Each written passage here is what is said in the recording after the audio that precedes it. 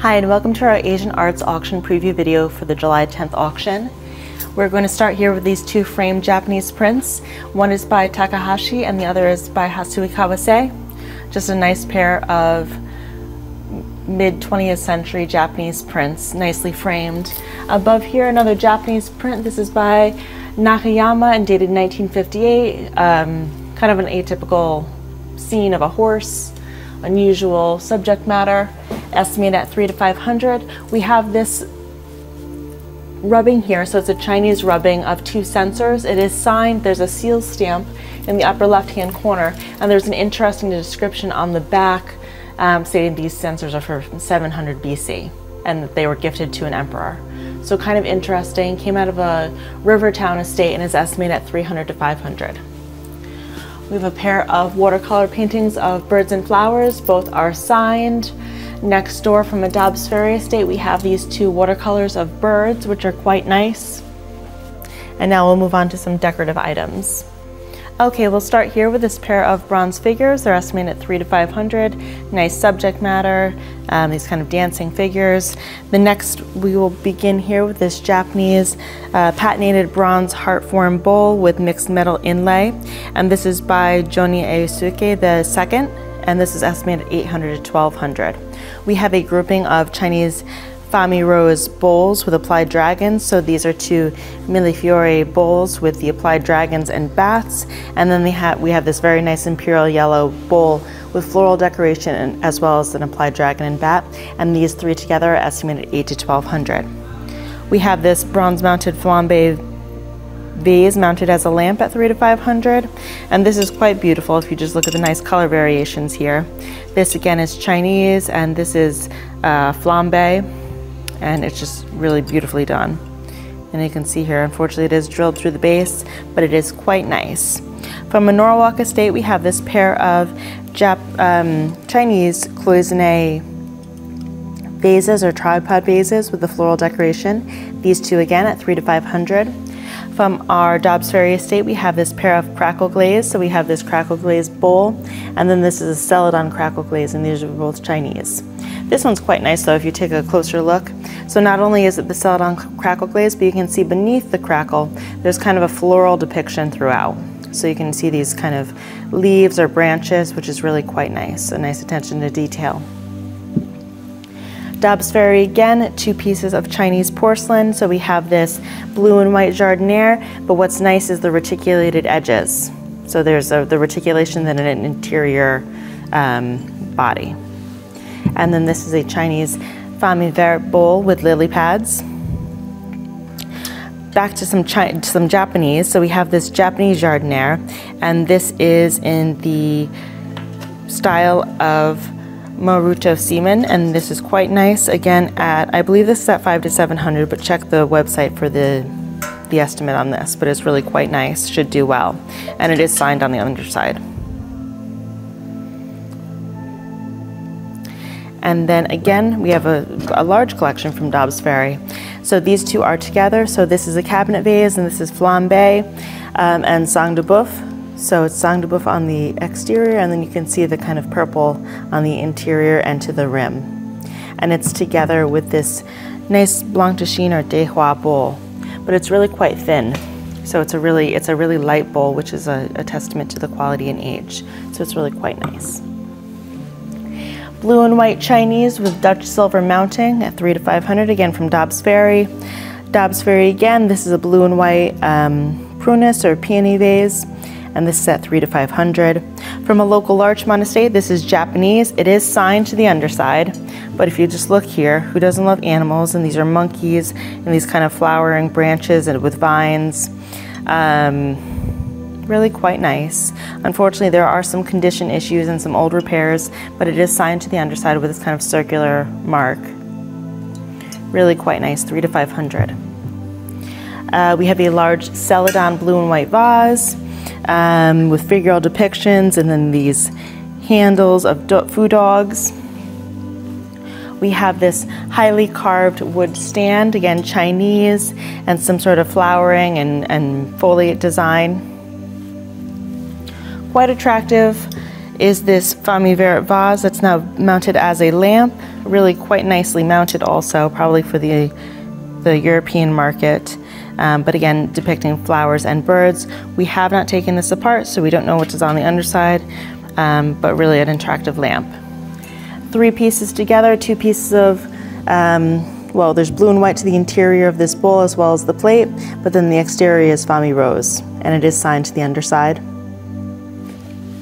Small phoenix bowl in blue and white, signature within a double blue ring, and then we have this yellow and green bowl with dragon. Um, another Japanese print, this again is by Hasui Kawase, and this is called Lakeside Shower. So really quite nice. You can see the seal stamp here and some additional markings, and then one more mark down in the right-hand corner at four to 600. So these are one of my favorite lots in the sale, kind of because they just have this funny, whimsical quality to them. Large in size, they are Chinese, and it's a pair of foo dogs with these kind of funny extended tongues and bulging eyes on these pedestal bases, um, but they're really quite sweet. They have crackle glaze, there's a few, some losses, but they were used and they have some decent age to them, and these two are together at 8 to 1200 from a Dobbs Ferry estate. Moving forward, we have this Famille Rose table screen. Um, it is signed and it does have a wax seal stamp. Interesting, 3 to 500. In front, another piece of Japanese. So this is a Japanese Meiji bronze vase with Fu Lion handles. It is signed to the underside. Haven't identified the maker, but there is a signature. And this is also at three to 500. We have this 18th century bronze incense burner. So we have this stag with the seated um, lohan. So he comes off, incense would go into the interior. Um, it's kind of on this converted base wasn't original to the piece, but it fits well. Just want to make sure that he's on there while I'm actually just going to put him down so he doesn't risk falling. Um, but it's a nice antique Chinese bronze censer. Interesting piece, not 100% sure on what the purpose of this was. It's either a shoemaker's weight or um, a child's weight. So it's really quite heavy. It's carved from stone and has this, I mean, it might be for, for um, kind of adhering a um, some sort of strap to a child to make sure that they don't run away, I believe. And then it has kind of this adult figure with their hand on a child. So I think that might be an implication of what the purpose was. But it's here to sell at four to six hundred. Um, these two pair of Famille Rose vases with these landscape scenes, probably 20th century. You can see the mark to the underside, so kind of an apocryphal mark. But these two together at three to 500. Okay, up next are these two pair of foo dogs, and there's actually two pairs. So there's these two, and then there's a slightly larger pair. Um, and these are quite nice, green and yellow on these pedestals, um, attractive. And they're all together at three to 500. We have this large grouping of Chinese export rose medallion. So there's a pair of vases, there's teacups and saucers, and then there's a teapot. So all this came from a White Plains estate, and it's all here to sell at four to 600. We have this Tibetan uh, mandala style thangka. Um, nice age to it. Um, there is some wear, but it is estimated at three to 500. If you just want to take a look at the back side here also, usually a good indication of the age. And this came from a Manhattan estate. Okay, and moving on. So one of my favorite things in this auction are this pair of 18th century cinnabar vases. So you can see nice age to it, great carving, um, but what really stands out is that the cinnabar bases are also carved cinnabar. So I'm just gonna take these apart so you can kind of take a better peek. So the fitted cinnabar bases as well. So nice red lacquer and black lacquer. Um, and this does come with a 1985 appraisal stating that they're Qianlong and they are 18th century. So, interesting, a recent find. This actually came from the same estate as our Fabergé dinosaur that's, that sold a few months back. So this is a carved archaic style jade bangle, and it is here to sell at six to 900. From our Dobbs Ferry estate, we have a carved jade object with a bamboo pattern to it at three to 500. We have this carved jade snuff bottle with a carved amber stopper. And this is also really quite nice from our Dobbs Ferry Estate. Estimate of 8 to 1200 is this rock crystal censer or vase. Um, a few condition issues, but we have carved ring handles. We have a beautiful carved um, incised decoration throughout and the foo dog finial. I'm just gonna lay it down to so it doesn't fall over. And I also wanted to show you this, so it comes with the original box that it traveled in. Um, and you know, it's always a testament to quality with the effort people put forth for this. So each section fits its specific piece. So here's the stand, the lid goes here, and then the body goes in the center and it just closes right back up. And it has a signature on the front, which is really quite nice. And this is estimated 8 to 1200. Okay, and so this is one of three Japanese prints by the same artist.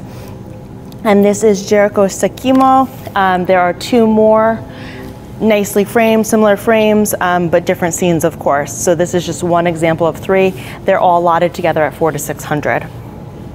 And moving on, we have this large Celadon crackle glaze fishbowl from our Dobbs Ferry estate on a nice stand. And this is also at 8 to 1200. We have this Japanese floor urn or large urn with floral decoration and leaves. This is at 4 to 600. And last but not least, we're going to take a look at, so there are three groupings of Chinese peasant paintings. So they're all by various artists great colors, great vibrant colors. Um, most are signed, all are identified verso. So there are three groupings. Each grouping has six paintings within. A lot have birds in them. Others are kind of village scenes, but they're all Chinese peasant pa pa paintings, and each grouping is estimated at four to 600. And that wraps it up for my selection of Asian arts for the July 10th auction. We hope to see you there.